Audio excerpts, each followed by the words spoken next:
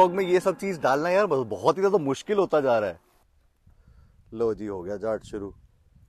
तो यार फाइनली वो दिन आ गया जिस दिन अपन कनाडा टू इंडिया वाली जो रोड ट्रिप है, उसको स्टार्ट कर रहे हैं। आज है जून 24 और पहला दिन है हमारी Canada to India road trip का। पहले ही दिन अपन छक्का मारने के लिए निकल पड़े हैं और अपन जा रहे हैं यहाँ से थंडर बे जो कि कुल मिला के पड़ेगा अपन को 1600 किलोमीटर। 1600 किलोमीटर का मतलब है कि भाई 16 से 17 घंटे की तो सिर्फ़ 16 से 17 घंटे की तो सिर्फ़ हमारी ड्राइव होने वाली है और उसके बाद जो वहाँ की सीनिक ब्यूटी है वो अलग है। प्लस तेल डलवाएँगे, खाना खाएँगे and it will be a lot of fun तो मैंने जो एस्टिमेशन लगाया वो लगाया है कि 18 से 19 घंटे हमारे को लगेंगे ही लगेंगे। इस स्ट्रेच को कंप्लीट करने के लिए प्लस इस ट्रिप में भाई मेरे साथ मेरे दो दोस्त और जा रहे हैं, एक अपना वरुण जो आपसे पहले ही मिल चुका है और अपने एक इमिग्रेशन वाले राहुल जी। तो भाई ये दोनों के दोनों अपने भाई हैं भाई। दोनों अपने यहाँ साथ चलेंगे भाई अपन लेके जा रहे ट्वेंटी नाइनटीन अपनी रेंज रोवर विलार ये इसका भाई पूरा का पूरा पोस्टर है। पोस्टर लगवाया भाई यू बी रैप्स ब्रैम्पटन वालों से। एक नंबर काम करके दिया है भाई उन्होंने प्रॉम उन्होंने बेसिकली प्रॉमिस करा कि पाजी कुछ भी हो जाएगा बट ये रैप नहीं फटेगा। तो चलो देखते हैं उनकी प्रोमिस कितनी आ, क्या बोलते हैं उसको कितनी वर्दी है उनकी promise and let's start our journey भाई किलोमीटर हमने करती है ज़ीरो तो ज़ीरो करने के बाद अब ये सीधा दिल्ली में जाके ये ऑडोमीटर होगा. स्टॉप तो मैं आपको दिल्ली तक का बताऊँगा कि टोटल कितने किलोमीटर हम चलाई है हमने गाड़ी. अभी करंटली भाई जो गाड़ी के किलोमीटर हैं, वो अस्सी हज़ार के करीब हमने गाड़ी के किलोमीटर रखे हुए हैं, जो हमने अपने खुद चलाई है. अस्सी हज़ार किलोमीटर तक गाड़ी ने कोई दिक्कत नहीं दी है. भाई अपन ने सामान रख लिया है, काफ़ी सारा सामान रखने के बाद हमारे पास इतनी जगह है कि अपन एक जने को मतलब वो होता ना, लिफ्ट दे सके। तो इतनी ही जगह छोड़ी हमने गाड़ी में, तीन जने जा रहे हैं, बढ़िया आराम से जाएँगे, दो जने आगे बैठेंगे, भाई एक जना पीछे आराम से अपना रेस्ट करता हुआ जाएगा, गाड़ी रुकेगी नहीं, क्योंकि तीनों के तीनों भाई अपन ऐसे बैकग्राउंड से आते हैं जहाँ पे हमने बहुत ज़्यादा गाड़ी चलाई है।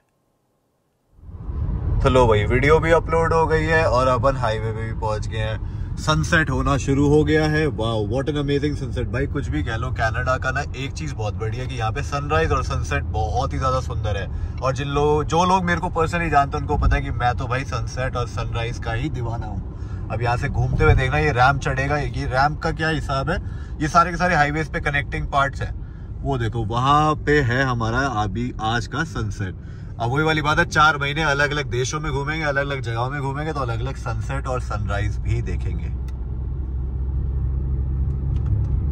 जो मेरा प्रेफर्ड जो स्टाइल है ड्राइव करने का, वो बेसिकली है रात की ड्राइविंग क्योंकि भाई मेरे को रात को चलाने में आता है मज़ा।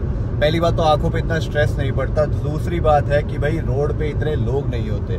तो मैं तो रात को थोड़ी देर में गाड़ी ले लूँगा भाई से, और फिर उसके बाद भाई जाएँगे सोने, वरुण बैठेगा यहाँ पर, मेरा को पायलट बनेगा and then I will be drive और भाई मौसम कुछ इस प्रकार का चल रहा है हाईवे पूरा का पूरा क्लीन है बट हाँ अब जैसे जैसे टाइम गुजरेगा भाई अंधेरा होना शुरू हो जाएगा, नौ बज के बीस मिनट हो रहे हैं, और देख लो अभी भी इतना चांदना है कि you can actually see everything तो यहाँ पर गर्मियों में कनाडा में, साढ़े नौ बजे तक अंधेरा होता है ऑलमोस्ट अब मतलब दस एक मिनट में अंधेरा हो जाएगा यहाँ पे, और फिर हम इसको बोलेंगे कि रात हो गई है।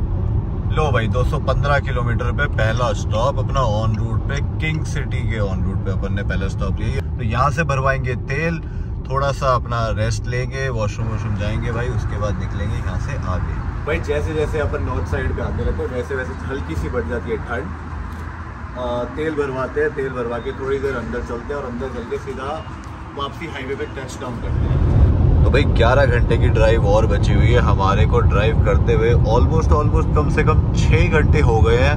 एंड ये देखो भाई पूरा का पूरा सन्नाटा है कोई मतलब रोड पे ना आगे ना पीछे। पीछे एक गाड़ी है वो भी बहुत ही ज़्यादा दूर है। एंड वरुण अभी सो रहा है और भाई अभी भी ड्राइव कर रहे हैं और अपन गाने चेंज करके एज अ परफेक्ट को पायलट की मतलब क्या बोलते हैं उसको?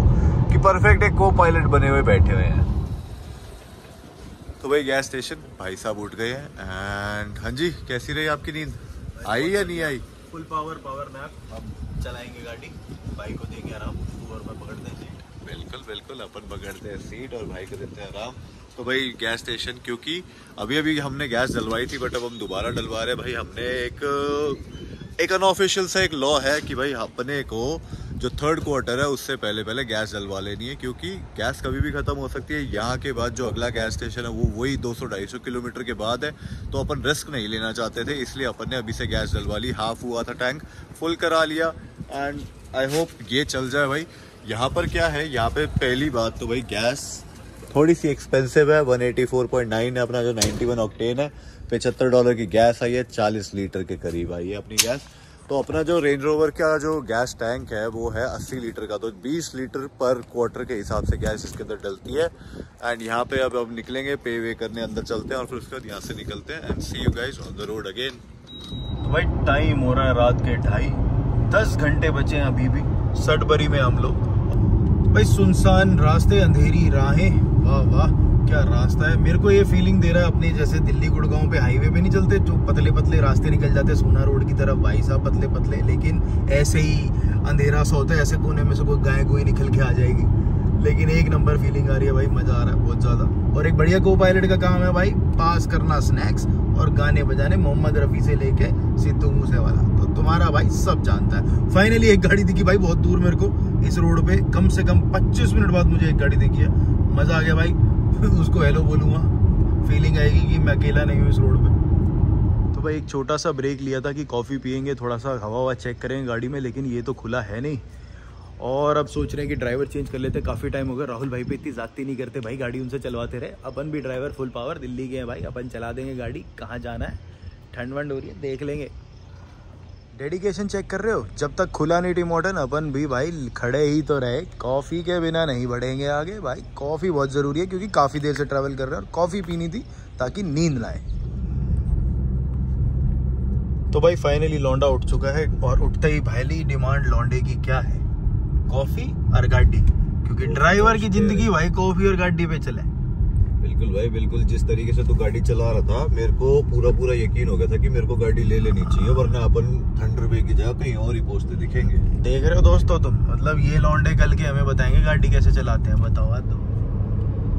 तो भाई सुबह के बज रहे हैं साढ़े छह। अपन ने ले लिया गाड़ी की पूरी की पूरी कमांड क्योंकि कल रात से इन लोगों ने मेरे को गाड़ी दी नहीं है भाई चलाने के लिए। मतलब मेरे को इतनी ज़्यादा क्रेविंग होती है ना मतलब कि मैं ड्राइव करूँ ऐसी लॉन्ग ड्राइव में मैं ही ड्राइव करूँ। मेरे मेरे दिमाग में है ये बस। तो राहुल भाई को ने ज़बरदस्ती बोला कि जाओ और अब आप जाके सो जाओ। तो वो सोने लग रहे हैं। साढ़े नौ घंटे हो गए भाई उनको चलाते हुए। अब अपने के पास अप्रोक्सीमेटली सात घंटे का रास्ता बचा है। मतलब अगर देखा जाए मोटा माटी भाई, हमारे को 16-17 घंटे हो जाएँगे, फिर भी हमारे से ऑन्टेरियो नहीं क्रॉस होएगा, जो कि कनाडा का है एक प्रोविंस दुनिया का 10 परसेंट फ्रेश वाटर इसी लेक में है। और इसका साइज़ चेक करो भाई तुम। इसका साइज़ राजस्थान से बड़ा है। भाई, ये थंडर में पहुँचने के बाद भी खत्म नहीं हो रही। क्या होगा इस लेक का?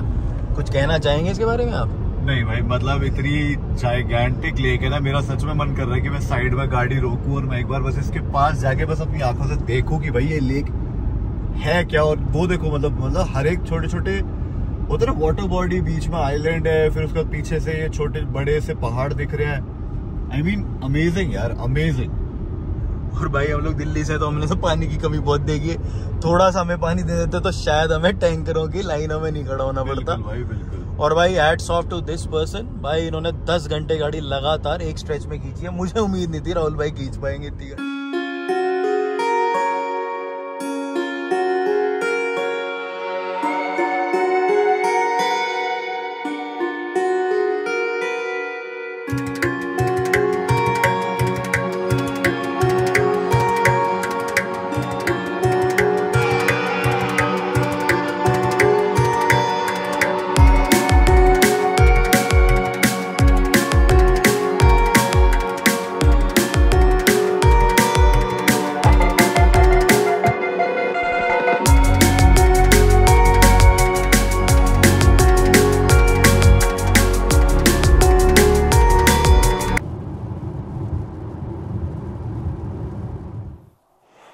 भाई, इस ट्रिप का मतलब अभी फ़र्स्ट लेग भी कंप्लीट नहीं हुए है and there are so many viewpoint जो कि मतलब इतने अमेजिंग है कि मतलब एक व्लॉग में ये सब चीज़ डालना यार बहुत ही ज़्यादा मुश्किल होता जा रहा है। सुबह से निकले हुए यार हमारे को छह सात घंटे हो गए और मैं सात या आठ बार अलग अलग जगहों पे रुक चुका हूँ अलग अलग जगहों पे जाके ये सब चीज़ें बोल चुका हूँ कि भाई, इससे बढ़िया कुछ नहीं हो सकता, इससे बढ़िया कुछ नहीं हो सकता और फिर कुछ और बढ़िया आ जाता है। तो I don't know what to say ये भाई पायरेट्स ऑफ़ द करेबियन वाला मेरे को फील दे रहा है कि मतलब वैसा सा ही तो है। एंडलेस वाटर्स हो गए साइड में अपने ये भाई माउंटेन्स हो गए एंड बीच तो भाई हम लोग है वाइट रिवर पे। ये सॉल्ट मेरी और थंडर बे के बीच में है। एग्जैक्टली exactly, दोनों चार चार घंटे के डिफरेंस पे हैं। अकेला यही पूरा एक गाँव में पेट्रोल पंप चल रहा है भाई। आउटेज हो रखी है पूरे गाँव में और इन्होंने पावर बैकअप से चला रखा है। और भाई, एक दो ही चीज़ें हैं लाइफ में जो हर जगह मिलेंगी। एक हम, रू से राही वाले और एक टेस्ला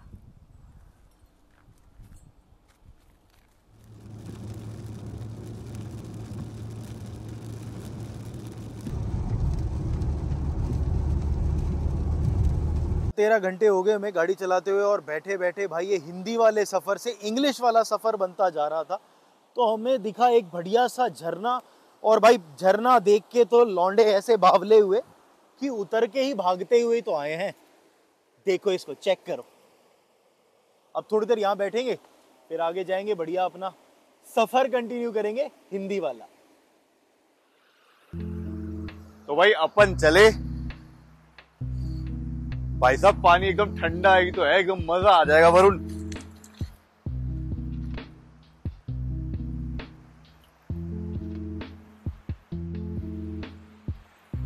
सारे के काई है।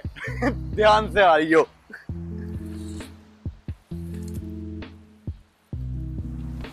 तो भाई, जो व्यू पॉइंट मेरे को वहाँ से दिख रहा था ना, वो बेसिकली ये था।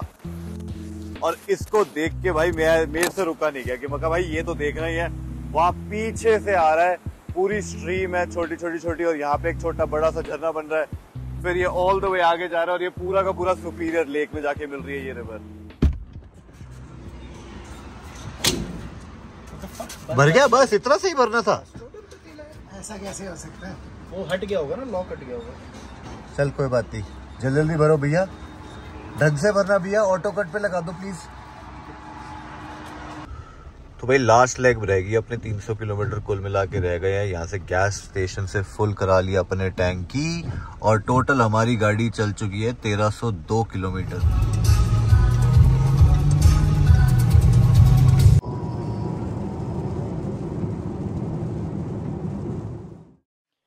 भाई, ये ईगल कैनियन एडवेंचर्स यहाँ पर है कनाडा की सबसे बड़ी जिप लाइन और अपना सस्पेंशन ब्रिज जो राम झूला, लक्ष्मण झूला, अपना ऋषिकेश वाला, उसी की तरह। भाई, इसकी तीन टिकटें लिए हमने और ये हमें पड़ा है पिचहत्तर डॉलर का। तो पिचहत्तर डॉलर होने पैंतालीस सौ। तो पैंतालीस सौ भी हम दे भाई और वेवर भी साइन हम करे कि भाई, पढ़ पुड़ गए तो भी तुम अपने रिस्पॉन्सिबल हो। तो भाई साहब, पंद्रह सौ पंद्रह सौ पर पर्सन दे के अपनी जान का जोखिम लेके आप लोग चढ़ना चाहते हैं ब्रिज के ऊपर। भाई बहुत हार्ड वही? ब्रिज नहीं है बेसिकली पाँच मिनट की वॉक हाँ पाँच मिनट की वॉक है थोड़ा सा झूले झाले से भी वॉक करते जाएँगे। तो चलिए। तो भाई ये अपना राम झूला लक्ष्मण झूला सस्पेंशन ब्रिज आप जो बोलना चाहो इसको। इस पे चल लोगे तो ये हाल लेगा। तो हाल लेगा तो बंदों की पाटेगी। और पाटेगी तो मज़ा आएगा। और अपना भाई बनेगा तितली और उड़ता ही तो जाएगा। जाऊँ? ना ना ना। भाई ये कनाडा की सबसे बड़ी सस्पेंशन ब्रिज है। ये फिर भी छोटी है।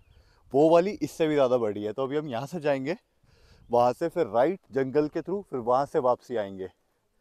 Yes. वाह और यहाँ पे सबसे लंबी जिप लाइन भी है बट वो इस साल बंद कर रखी है इन लोगों ने। ये रही जिप लाइन वहाँ से लेकर ऑल द वे वहाँ तक की जिप लाइन है। और जिप लाइन इसलिए बंद है क्योंकि स्टाफिंग की प्रॉब्लम चल रही है। अगर तो किसी को भाई जॉब वॉब चाहिए ऐसी जगह पे रहने के लिए तो दे कैन अप्लाई और ये लोग हायर कर रहे हैं एक्टिवली तो भाई ये आ गई दूसरी वाली ब्रिज। ये वाली ब्रिज जो है, ये एक्चुअली में सबसे ज़्यादा लॉन्गेस्ट है all over the Canada and rules to use the canyon bridge no more than twenty people at one time just have a look at this लो जी, हो गया जाट शुरू। तो हमारे में एक लॉ है, अगर एक बंदा भाई पुशअप मारेगा तो दूसरे को मारने ही मारने अब जैसे इसने शुरू कर दिया तो मेरे को मारने ही मारने पड़ेंगे। तो यार प्लान तो बनाया था कि 16 घंटे में थंडर में पहुँच जाएँगे बट 20 घंटे हो गए 20 घंटे में अपन यहाँ पर हैं। क्यों? क्योंकि भाई रास्ता इतना अमेजिंग है ना। मतलब हर जगह मतलब कहीं ना कहीं कुछ ना कुछ रुकने का आपको दिख ही जाएगा। मतलब हम कम से कम भी 20 से 25 बार रुके हैं। तब जाके यहाँ पर आए हैं। और यहाँ से अब थंडर वे भाई हार्डली मतलब कितने हाफ़ एन आवर या 45 मिनट्स की दूरी पे होगा, मैंने देखा भी नहीं है कितना दूर है बट हाँ पास में ही है। तो यार, इस वाले ब्लॉग को हम यही रोकते हैं एंड इसके बाद हम आपसे सीधा थंडर वे में मिलेंगे। तो ये था हमारा day one of Canada to India road trip का। Hope you guys like that तो do support us subscribers and do share all the love